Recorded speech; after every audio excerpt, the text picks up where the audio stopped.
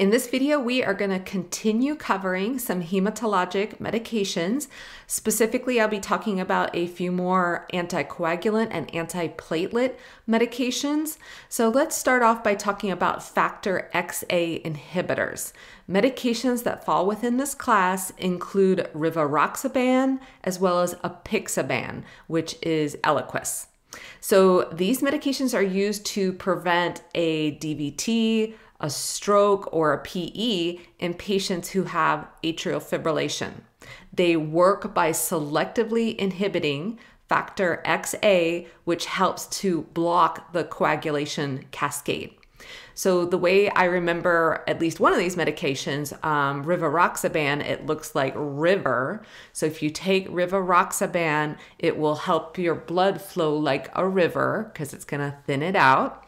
So, side effects, um, bleeding is the big one to remember here. Anytime we have an anticoagulant, bleeding is always going to be a risk if we thin the blood too much, right? We do too much anticoagulation. Um, another side effect is possible elevated liver enzymes with this medication.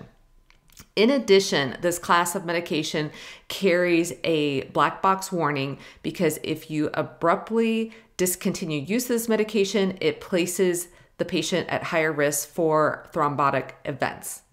So, when your patient is on this medication, you want to monitor their liver function because of the risk of elevated liver enzymes. You're also going to want to monitor their hemoglobin and hematocrit during therapy. All right, now let's talk about platelet aggregation inhibitors or antiplatelets. So, the two medications that I'd be familiar with that fall under this class include clopidogrel and abciximab. So abciximab is that medication that's spelled kind of funky. It's A, B, C, and then so on, um, which makes you wonder how they come up with these names, but that's what it is. So these medications are used to prevent an MI or a stroke in patients who have acute coronary syndrome. They work by inhibiting platelet aggregation.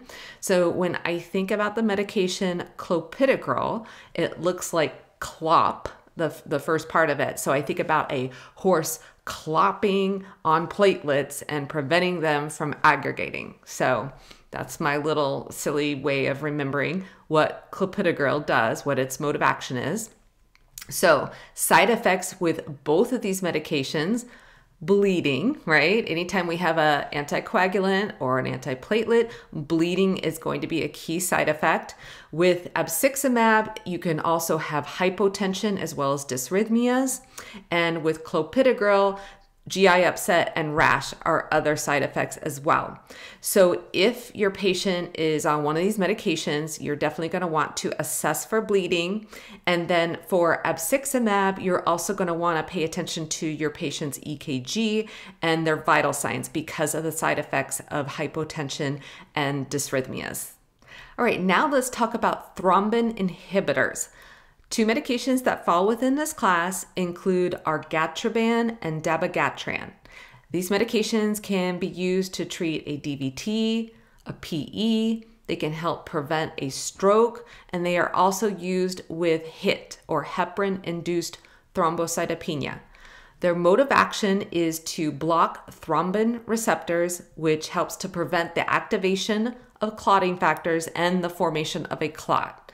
The key side effect with both of these medications is bleeding. In addition, with argatroban, hypotension is a possible side effect, and with dabigatran, GI upset and angioedema are also possible side effects. So, the way I remember these medications and the key side effect of bleeding is I say there is no time to argue. You can't just dab at the blood you need to hold pressure to stop the bleeding from argatroban or dabigatran. So again, key side effect is bleeding, and anytime your patient is bleeding, you need to hold steady pressure on that area in order to start stop the bleeding. So, the key thing you're going to be doing when a patient is on this therapy is assess for bleeding, just like we've done with these other anticoagulants that we've talked about.